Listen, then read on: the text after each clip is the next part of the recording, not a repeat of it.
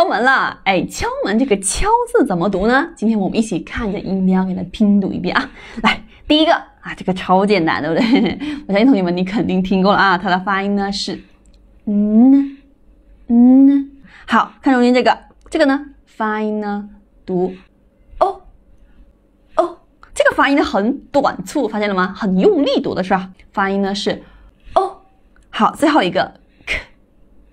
这个超简单是吧？好了，同学们，来，我们一起拼读过去，就是 n o knock，对吧？来 n o knock，好，这是音标，哎，这个音标看上去还是挺简单的，是不是？来啊，重点来了啊！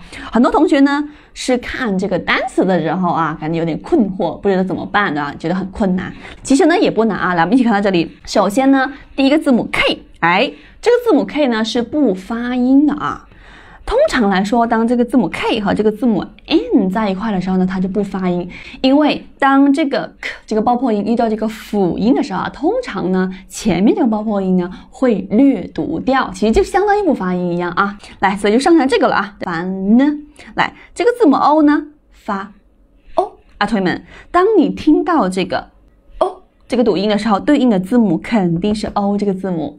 好，后面还有个字母组合 C K，哎，这两个就特别好记了。为什么呢？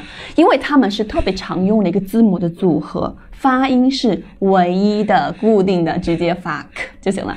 所以你看啊，这个单词，这个发 n，，这个发 o，C K 发 k n，o。knock 前面有个不发音的字母 k，哎，就是这个样子。那么关于这里的像这种字母组合呀，对吧？或者字母的发音规则规律，还有我们讲过的这种啊略多这种规则呢，在我们完整的发音课当中都有详细的总结，还有专门的一个训练。来，同学们，这个单词你学会了吗？学会了记得打卡，学会两个字。如果你想从零开始学完整的发音，那你可以学下老师完整发音课四合一。好，我是 Hedy，关注我，轻松学英语。